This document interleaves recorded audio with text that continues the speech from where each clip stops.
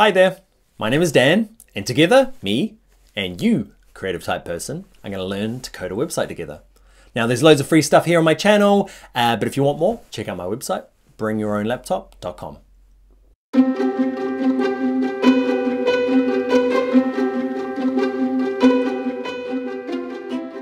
Hi there, in this video we're going to look to make a responsive navigation. So at the top here on the right on my desktop view, the navigation is three buttons and it's stacked like this, but tablet, okay, it drops down to be underneath and the big one is when it's a mobile, it turns into this burger menu. So we're going to look to do that. Now what we're not going to do is we're not going to open up a JavaScript file and start kind of hand coding everything. Okay, what we're going to do is leverage a lot, well, um, in particular one specific thing that's already been made. Okay, there's lots of different people who have made cool little reusable bits of code that we get to use and just go and reinstyle because although it would be nice to do it all from scratch, if I'm honest, have I ever gone through and made a nav sandwich by myself? No, I haven't. Okay, I go off and stand on the shoulders of giants and find snippets that I get to use and I style the hell out of them, but I'm using the underlying kind of basis of their work. Now there's a bunch of different ones. What your the language to use, say you don't like the one that I use here, you want to start with something different. Um, you're looking for like a jQuery nav sandwich, okay? Or yeah, that if you go search for that, you'll find lots. I've found this one that is, it's one that I use loads. It's really simple, it's really easy, it's really easy to style. I like it. Okay, it's this one here. Let me pull this out. Okay, it's this one here called SlickNav by Josh Cope. Okay, thank goodness for Josh. He's made a super easy um, yeah, nav sandwich that we get to kind of use in style. And it's pretty got pretty good documentation. So first of all, you can do one of two things is if you've downloaded the exercise files, okay, um, I've got the bits you need in there, but if you're just kind of watching the video, you can download um, the files that you need. Okay, stick them on your desktop or stick them somewhere and open these. Let me have a look. There's there. Okay, there's a zip file, open them up, and here's bits of documentation and the stuff you need. This is probably the only bit that is a little hard for people that are brand new. If you know what you're doing, this is great, but if you don't, there's a lot of stuff in here. And actually all you really need is, if you open up distribution here, you need this thing and this thing mainly. Okay, those two files, plus a little bit of text from here. So let's go through and do that ourselves. So if you're following along with my files, uh, open up the uh, how to code exercise files. And what we're looking for is I want you to grab this, this, this. Okay, these three files are gonna help make it work. Okay, so um, let's hit copy. And remember, we're going to go to our desktop, open up Dan's portfolio. Remember, everything for our site, all files, images, these, this bit of code included, needs to be inside this folder. Now, I'm going to push it in here into the kind of like the root of the folder here. If you're going to be real nice about it, you should have a CSS folder and a JavaScript folder and put everything CSS into that and JavaScript into that. We're not going to for this one. We're just going to keep it super simple um, and just lump them all in the bottom here because it's not going to be a particularly big site. So hey ho. So that's part of it. We've got this slick nav and we've got this thing here, this bit of jQuery that um, Josh has written, and this is the library that it kind of refers to. So you need all three of these to make it work. So let's go and grab the code we need to make it work.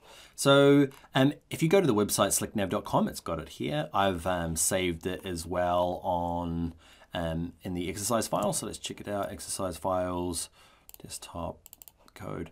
There's this one here called navigation code. If we open that up, there's there. Okay, there's this bit, okay, and this bit. So we're going to grab this bit first, copy it, and we're going to put it into Dreamweaver. And we're going to replace Hello World. That was great. We loved it. It was helpful, but not a whole website. So we're going to paste this in, and just to be pretty, we're to tab it across once. Okay, so that's inside there. Use these tabs to kind of show who's inside what. Okay, and let's save it. It's not working yet. Don't get too carried away or too upset when it doesn't work. Let's let's preview in a browser and we'll just see what we got here. So here's my site here. That's all it is. Some list items. And you can see if I change these list items now, if I change this to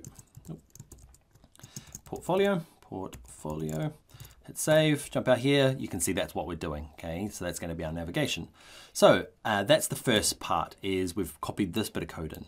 Next bit of code to paste in is this stuff here.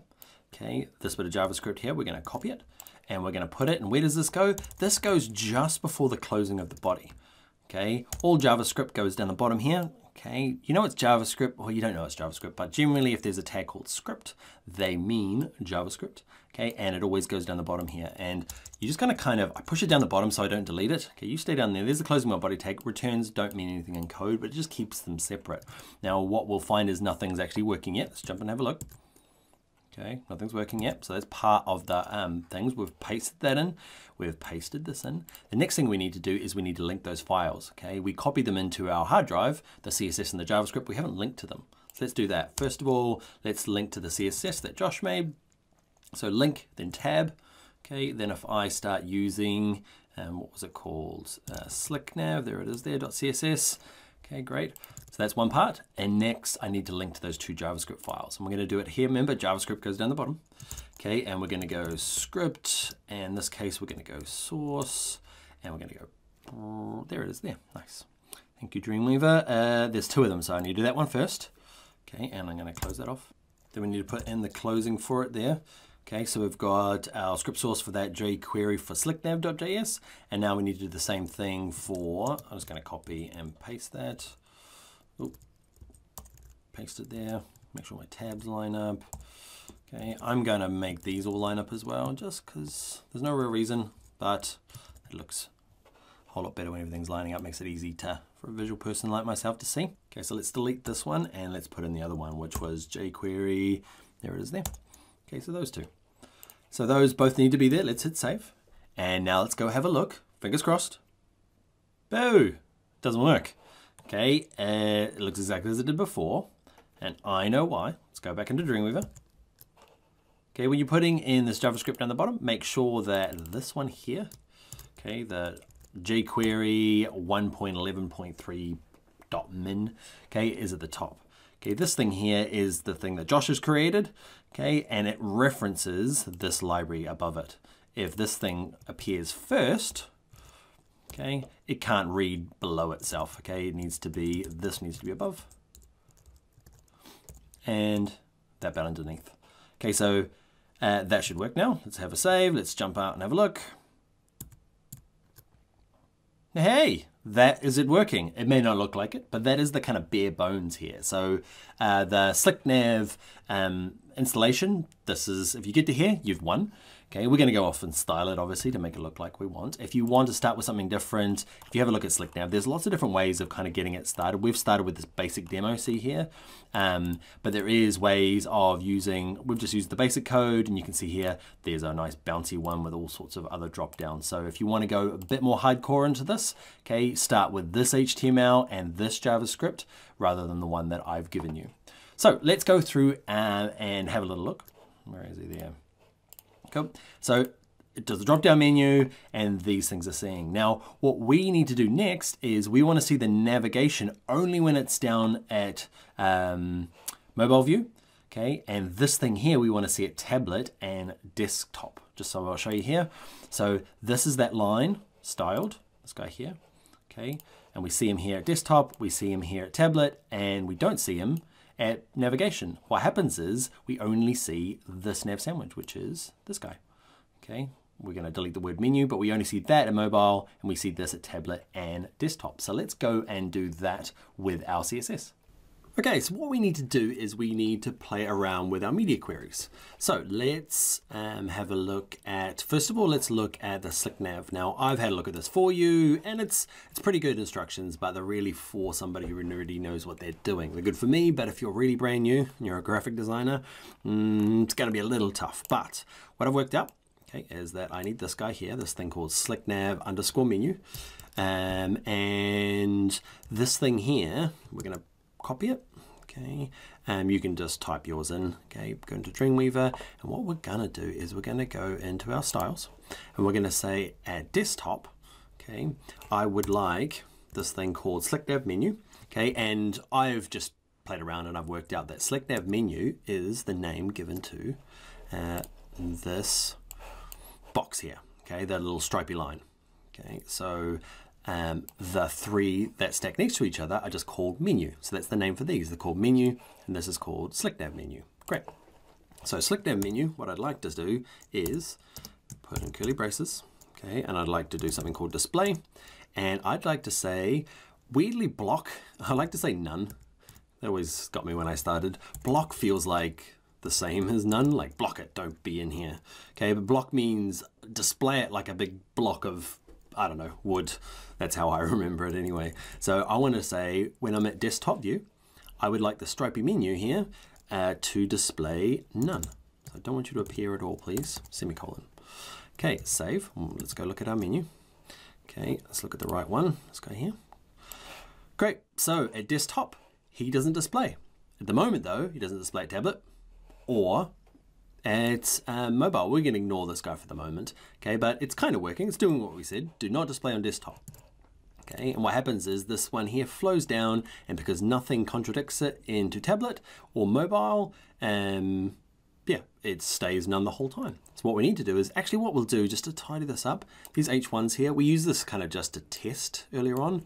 Remember we just used it to change the color of my heading just so that we understood what these media queries were and how they worked. So the moment we'll just have a really nice tidy one. There's desktop. Okay, and also just while I'm here, desktop slash global. Okay, people will call this global, this top one, and anything that overrides it okay, will be, in our case, tablet and mobile. But global is, if somebody says put it in global, they mean the top chunk. Okay, it might not be desktop. You might be dealing with what's called mobile first. So you've got your mobile instead of desktop at the top. Okay, but that's that's called global up the top there. Great. Uh, got a little lost. Okay, but what we need to do is here. Okay, we're going to copy this whole chunk. So desktop, don't display. And tablet though, I'd like to display block. Okay, and let's go and check it out. Actually, I don't want to do that, do I? I want it to be off on tablet because my little menu, actually my mock-up in Photoshop has it off there as well. And it's only in mobile. Where I get to here and I block it. Great, let's hit save, let's have a look. So desktop not there, tablet not there, mobile, hello. Okay, and it's that easy kind of. Okay, so we've just turned it off. The nice thing about this bit of um, menu that SlickNav has built is that these are tied together. So when I changed, you can see on here, I don't have, um, it's just this one portfolio. Okay, so if I change this one and I go to contact me, and here, you see that's connected to this one here. They're all the same, but displayed twice. Okay, and all we need to do is to decide which display to show. So we've done it for the mobile one and that works, right? So it's, well, the, the burger menu. So the burger menu for mobile, not for tablet, not for desktop. Let's deal with this one. So I want it to appear for desktop. I'd like it to appear for tablet, but when it gets into mobile, I want you to go away because that's going to be the menu. Okay, and this menu is called menu.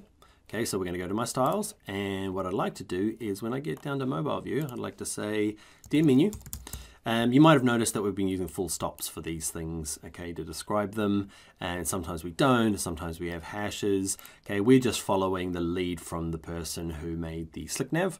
Okay, this is called uh, class, and this is here is called an ID. Okay, and classes have uh, periods in front of them, or full stops, and IDs have hashes. How do I know that's an ID? A couple of things. The easiest way was in his instructions. There it is there. It says hash menu. Okay, and I can see it there. Where did I see it? Okay, I can see it has the ID of menu. Okay, and great. So this ID of menu, I'd like to, let's put in our curly braces. Great, and I'd like you to do something called uh, display. And this one here is going to be block. Nope, none. See, I get confused. Okay, so I don't want the menu to appear on mobile. Let's kind of look. Look at our preview. This one here. Okay, so desktop, tablet, mobile. That little line turns off and he turns on. So at mobile, all the work happens. Okay, SlickNav menu turns off, well, turns on, and menu turns off. Okay, lovely. Making them all line up. Is it safe? Okay, so that's it to get it kind of real basics going. Now we're going to go off and style it because it's looking a little bit plain Jane. We want to make it look like our mobile design. So let's go and do that in the next video. How good was that, right? If you want more, check out bringyourownlaptop.com.